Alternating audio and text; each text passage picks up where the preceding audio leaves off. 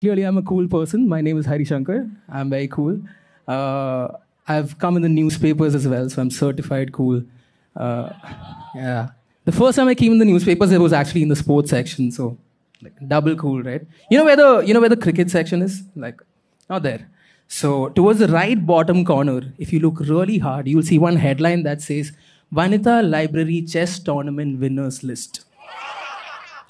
And if you look towards the bottom corner, you will see Hari Shankar, seventh prize. My mom still has that cutout very safely shared in the drawer at home, which she holds close. My mom taught me chess when I was eight years old. So she sat me down one day after school, and this is uh, one of the school days. Uh, we had sat down with this book that she had gotten from a train vendor. And she told me, Aku, uh, Aku is what she calls me at home. So she says, Aku, in a game of chess, a pawn is worth one point, the knight and bishop are worth three points each, the rook is worth five, and the queen is worth nine. The queen's a very important piece in the game, so be very careful how you use your queen. And my first question was, what about the king though, right? And she says, the king has infinite points. That's what that's the first lesson that I want you to learn in chess. You lose the king, you lose the game, which means you do whatever you have to do, but you save your king.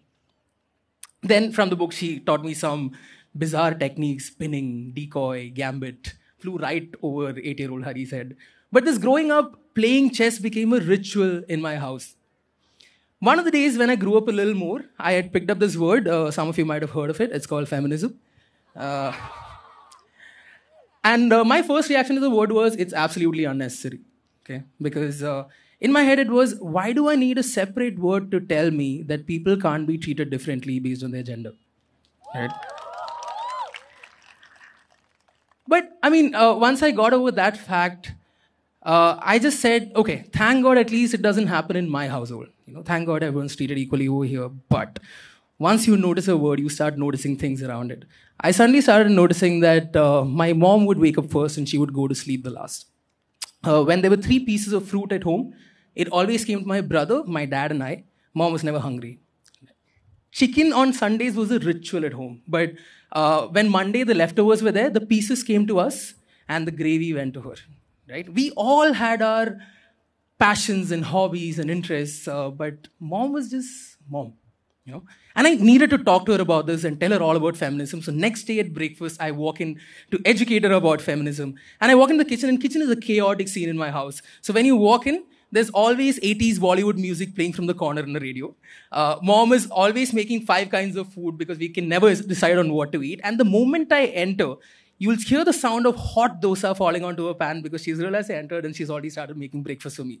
And her hair is always tied in a wet bun because she's just taken a bath and then she's done all of this work. And that day I sat down with her and I said, Mom, we all have our passions, hobbies, and interests. You can't just be mom. You need to do something as well. You taught me chess. Why can't chess be your passion? You should go play a tournament, you know? And mom being mom uh, gave me my tiffin and sent me off to school. And I thought that was the end of that. But a few days later, I walked into breakfast and mom said, You know, I thought about what you said. And uh, there was this tiny little tournament uh, in my office. So I went and played. And now there's a slight problem. And I was like, uh, What is it? Did you lose? Are you okay? And she said, No. So I kind of won that. And then they said, Go for the district level tournament. And the district was happening right next to, so I thought, why not? So I skipped office one day and I went for the district level tournament. And turns out I'm good at the game because I qualified for state level. now, the state level is an hour away, so I said, why not? So I took a bus and I went for the state level tournament. Long story short, uh, the nationals are happening in Jaipur.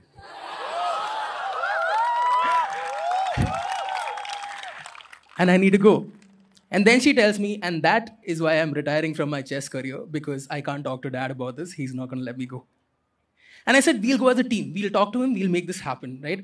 And when you're talking to dad in the morning in my house, you're not talking to dad, you're talking to the back of a newspaper, right? So uh, we walk into the hall, uh, we go and see dad, and uh, we tell him the whole story, and we say, you know, she wants to go to Jaipur. I don't think he looked up from the newspaper or hesitated a second before he flat out said, No, you can't go. But that's when I had a brainwave, right? It was summer vacations. Uh, I said, Why don't we all go? It'll be a great summer trip. We can all go to Jaipur. It'll be great fun. And somehow that sentence had more value in my household than my mom's passion.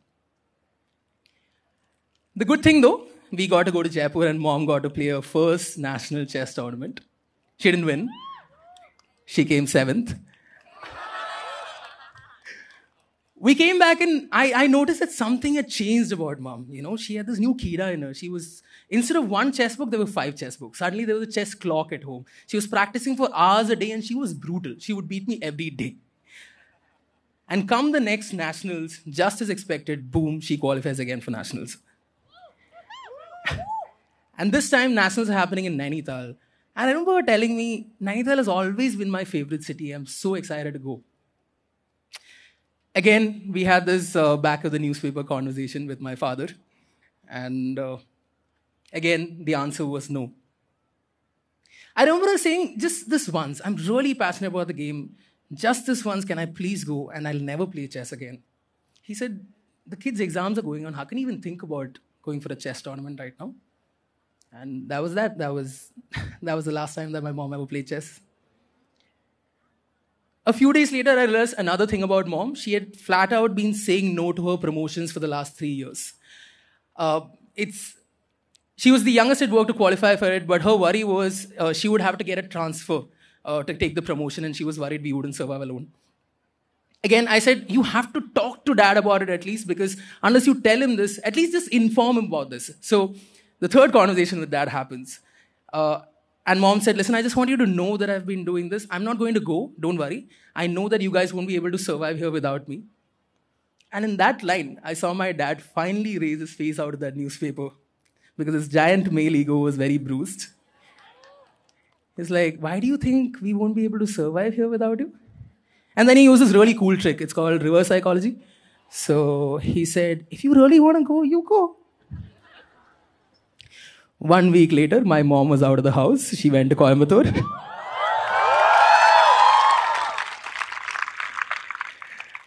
three, three fully grown, completely incapable men in one household. Breakfast was oats, dinner was oats, lunch was supposed to be oats, but thank God my school had a canteen. If a sock dropped on the floor, the sock stayed on the floor, right? Uh, if things disappeared, there was no mom to magically make it appear again. When we felt sick, we had to go to actual doctors. The worst time of our lives. So I, I called mom to vent about all this. So I called her and she said hello. And I said, uh, listen, let me first ask you, how are you doing? And she said, I'm having the best time of my life. she was sleeping in on Sundays, reading books, having the baller time, like just always how she wanted, ticking off a bucket list. And I was just really happy for her, you know. And a couple of years later, I left for college. Two years more, and uh, my brother would leave as well, leaving my dad alone in that house. It took my dad two more years and eating a lot of Quaker oats to finally admit that he can't do this alone. The tone he said it in, though, is what will always surprise me because he picked up the phone on mom and he said, Enough is enough, you're coming back. And no questions asked, my mom came back because my mom would do whatever she had to do to save my dad. A couple of years ago, I was home. It was the first time after my mom had come back after a promotion stint. And I noticed that uh, nothing had changed. When I walked into the kitchen for breakfast that day, my mom was, uh, mom's hair was still tied in a wet bun. There was still 80s Bollywood music playing out of a corner out of that radio. She was still making three kinds of breakfast. And the moment I entered, I heard the sound of hot dosa falling onto a pan.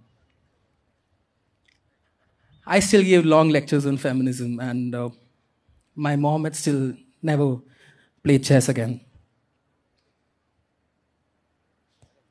Sorry. Sorry.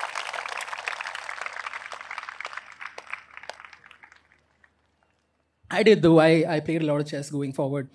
Uh, that tiny little article became a bigger article, and uh, I won a lot of prizes and accolades. Uh, moving forward and winning a lot of these tournaments, I had this favorite technique that I used to play once I understood the pinning decoy gambit. Gambit actually means it's, a, it's strategically sacrificing a piece to win the game. And uh, growing up, my favorite opening to play to win chess tournaments was this opening called the Queen's Gambit a few moves into the game, I would sacrifice my queen, and that's how I would win all my games. My mom taught me chess when I was eight years old. She told me that a pawn's worth one point, knight and bishop are worth three points, the rook is worth five, and the queen's worth nine.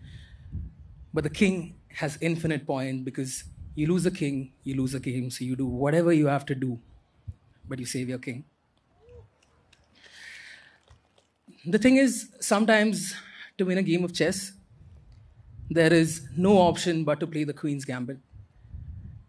The only thing I keep wondering about is why is it always so necessary to win?